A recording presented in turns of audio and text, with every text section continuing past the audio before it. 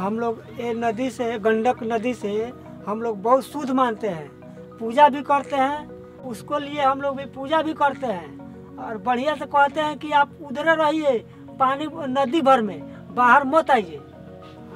और 2017 में हम लोग का कोई सूचना नहीं मिलता था उस टाइम हम लोग एक बैग सोकर उठे रात में ना तो पानी को देखे और हम लोग पूरा लोग घबरा गया।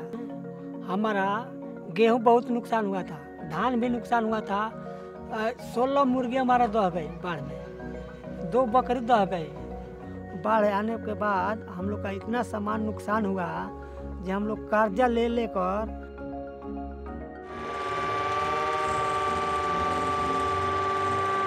अभी हम लोग का बाढ़ से हम लोग का जी जी कंपनी से बहुत फ़ायदा मिलता है।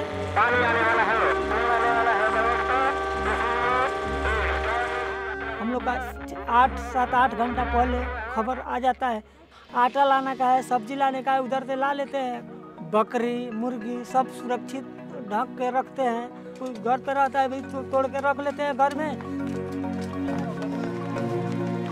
मशरूम हम लोग का बहुत बढ़िया लगा। जो घर में ही हो, हो जाता है। बाढ़ से बच जाता है।